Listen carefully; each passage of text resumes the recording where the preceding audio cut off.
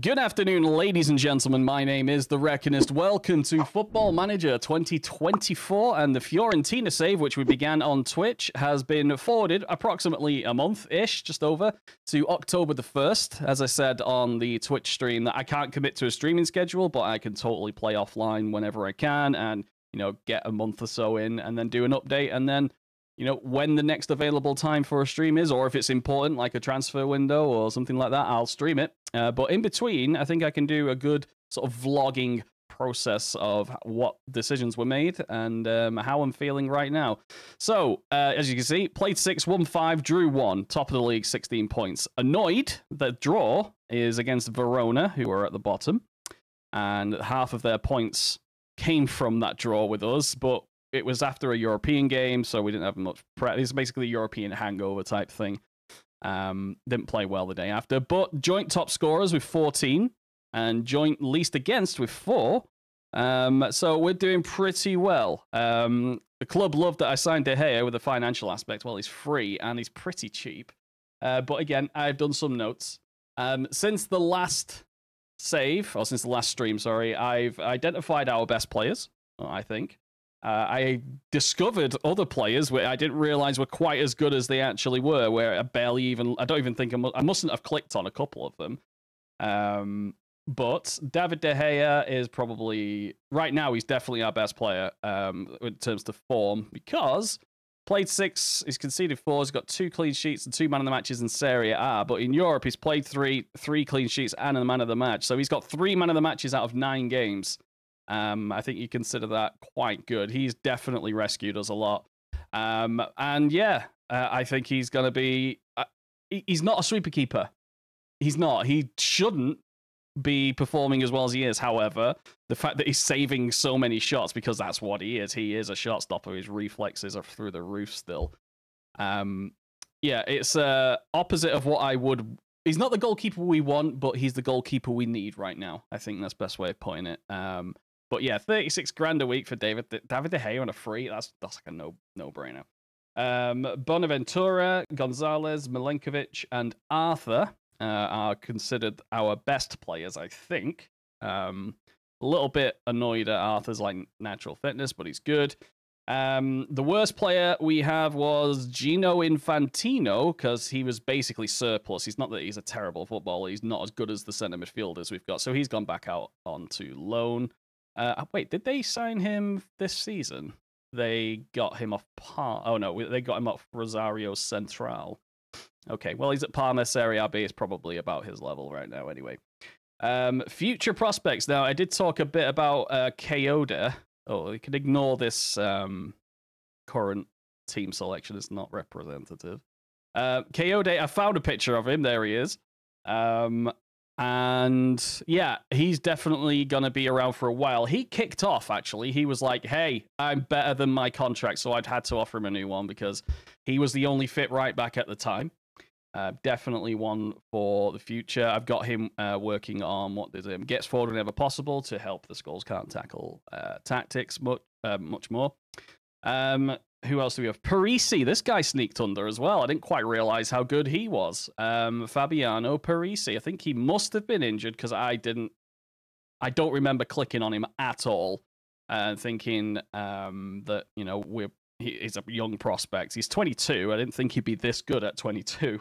Um, but there he is. He's definitely going to be playing more. He's come back from his injury. He's only had one Serie A appearance and one in Europe but definitely good. And do I have him developing something? Gets forward whenever possible because that's all the system needs for wide players. Um, what else we got? Beltran, right.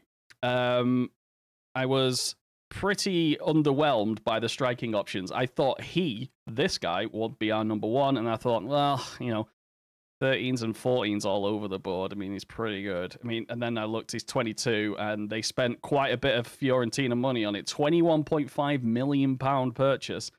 Totally was not aware of that at the time. Um, but then uh, I thought, well, maybe there's something else I missed because we were focusing on getting Gonzalez as a striker because of his aerials. Um, we didn't do that. Uh, that but because Nzola, um, yeah, from Spezia, played 31 for Spezia and got 13 last year, and they paid 10 and a half million. That's like really cheap. He's played how many has he played for us now? Sorry, played six, scored three in Serie A, Europe, uh, no goals, one assist. Um, yeah, he's been he's definitely. I I missed him. I don't know how that happened, but we did. Um, so yeah, he's gonna be the main striker while Beltran gets his um, feet settled in Italy. Also, Gonzalez might end up being a striker at some point. Not now. Um, definitely not for us, but he's definitely a prospect. Kind of like, you know, with uh, SMS, you can turn him into a target man, Milinkovic Savic. Um, I'm thinking something similar for him. Uh, who the hell is John Schaller? I did not buy him. Oh, director of football's bought him. All right, well, there he is. That guy's there. Um, he wasn't on my list. Ikone starts off the season injured and has come flying into the first team. Uh, played one in the league and scored it. He only had like 20 minutes of the game, and who he is. But in Europe, he's played twice as a sub, one goal, one man of the match. Not bad at all. Ikone will be the right wing competition for Gonzalez.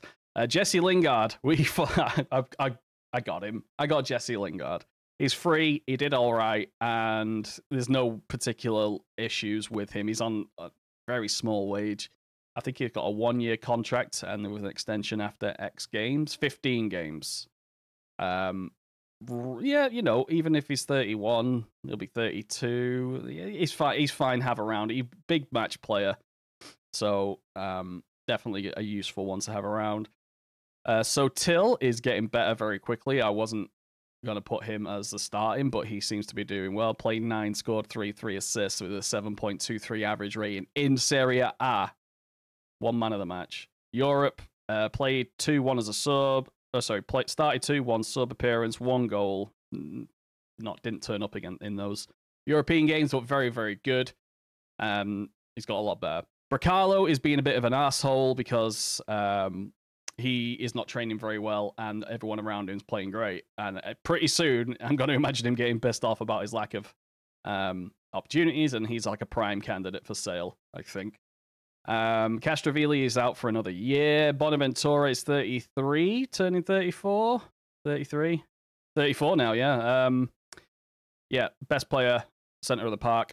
Pretty much perfect PPMs for an advanced playmaker attack but his acceleration is 11. Now he's 34. So soon as uh, Castrovilli is back, he'll be replacing that. Barak is back. Antoine Barak, who is um, not played yet, actually. I don't think. No, he's just about back. Uh, any other options? Oh, yes. Um, final transfer window. Zeki Celik became um, a priority because we only had Kayode fit because Dodo is out for about a, a season at least. So he is on for uh, the season. I think there's an option. Optional future fear 4.7. Perhaps maybe something will happen in between Kayode and can't get rid of him. Uh, sorry, we can't keep him and have to get rid of him. But he's definitely a decent signing for us. And yeah, uh, I think at the end of the last stream, I said I was going to buy Valentin Gomez. Uh, I changed my mind. I went with Vida um, because A, he looks like he's in Skyrim, honestly.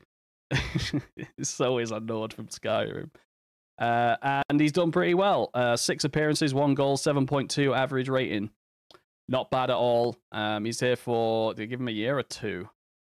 I gave him two, two years. Okay, so he'll be, yeah, he'll be quite old. His, his, his pace will go, but he, you know, we needed it at the time, I think. Uh, I think I did undervalue Mora because every kind of everyone, every like scout report was coming back saying he has the potential to be better than our current centre half, Milink- uh, Milinkovic. Um, but also Lucas Martinez Quarta is also fairly decent. But you know, all those players besides Vida have issues aerially. Um, so that's literally the the reason I bought him. Just as A, experience and B is good in the air. Um, long term, definitely not one for as he's for this season only, really. And again, yeah, back up here, David De Gea. Um, absolutely brilliant. Um, total overall for the club played nine, conceded four, five clean sheets, three man of the matches, 7.42 average rate in free transfer on less than 40 grand a week. He's not a sweeper keeper. He is a goalkeeper. Is that there are there is distinctions, of course, but he is probably the best goalkeeper, probably in the la- over the last ten years. He's not a sweeper keeper, but if you want someone to stop a shot, there's probably no one there. As it becomes like a, an ethical thing, do you want the prevention uh, of shots on target, or do you want the cure for shots on targets? That's the way I look at it. That might make not any sense to anyone, but stopping a shot, absolutely great. And uh, possible future captain role, 14. I'm going to try and keep him as long as I can. We've got three years with him and an extension. I think. Op- nope, no optional extension. But yeah, David De Gea is there. So, schedule. Let's have a look what happened. Um, I put a lot more friendlies in. Um, I did all of these uh, Austrian friendlies. I thought we didn't have enough match experience, so we just did that. Uh, Monza 4 1, 3 0 at Dnipro in the U- European qualifier. Um, actually, can I just make that more auto size all columns? Thank you. Um, yeah, Hellas Verona 1 all. That's so annoying. And nil nil uh, on the replay for the qualification. 1 0 against Roma. 3 1 against Atalanta. I've written here Atalanta goal. So I'm going to have a quick look. Oh, I remember this one. Right. Let's have a look at the goals. Um, yeah, watch watch goals. Let's watch the goals, and I'll just cut onto the goal I want everyone to. Ah, okay, here it is. This is my goal. We're one 0 down at the po- at this point. Uh, we do go on to win 3 1, but uh, Rafael Toloi is playing it around. This It came from an incredible tackle where I literally went, oh my god, what a tackle. There it is. Kouame, yeah, he's actually been very good as well, sort of versatile winger and striker. Um, great squaddy, basically. But look at this little spray out.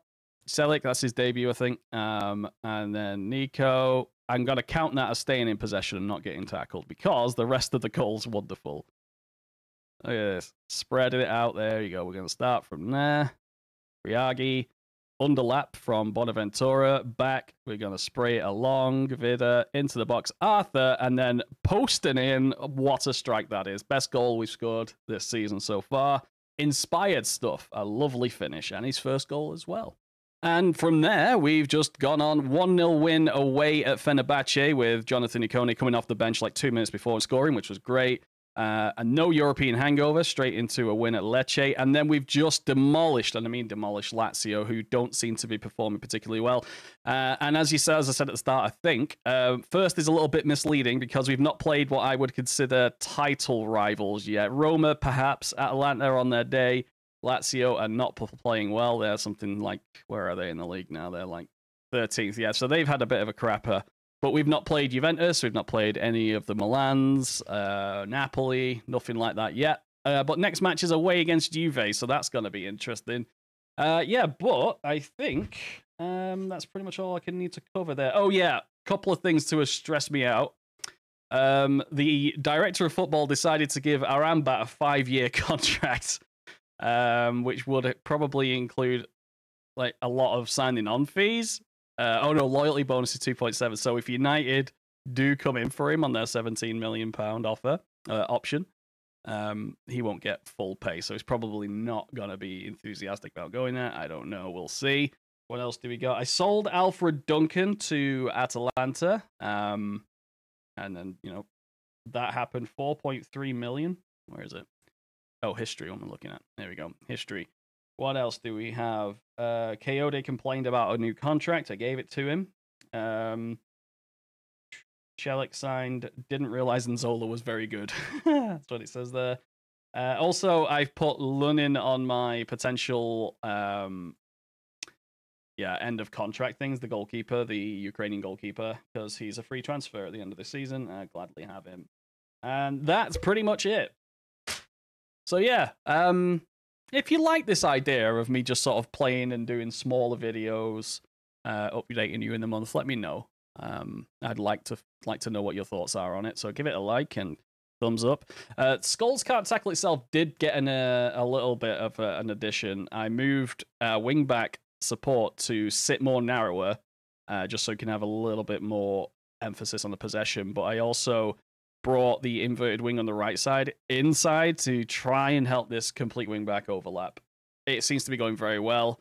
Uh, only one major error in possession trying to play through the press came from um, Milinkovic. He got caught on the ball. and resulted in the goal. Other than that, the, the system's going very, very well. Have we got data stuff now? We definitely do. Oh, yeah. Um, can I see the data? Because this popped up. Um, wait, no.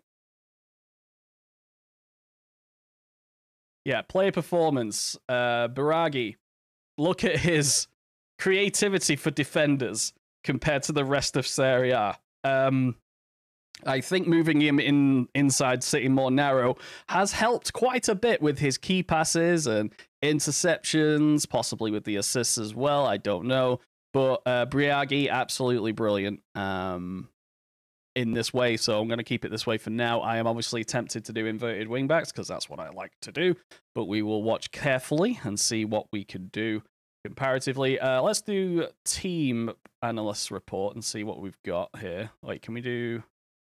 Yeah, okay. Goals scored, uh, all competitions, including friendlies. Let's move that to domestic league and see what we've got. All the league matches, uh, five goals in all from these areas. Um, we're scoring, yeah, pretty much consistently. No particular time of day or time of day, time of match that we're doing it.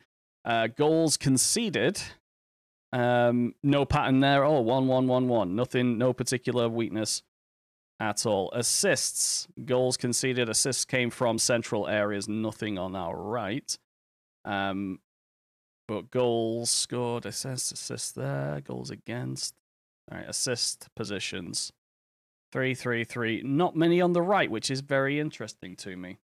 It might be something we need to balance out. But you know, it's only early in the in the season, usually around you know December, you'll start seeing patterns that are worth actioning on. Uh, but yeah, we're doing very, very well. Um, Scholes Can't Tackle's doing very strong. I think we are expected to finish, was it eighth or something? Yep, media prediction is eighth. And we're first. And if we finish top four, I'll be delighted. Any higher? Perhaps. We will see. I think when um, we get into the nitty gritty of the seasons where, you know, it's Europe and Serie A intensely, um, we might have issues.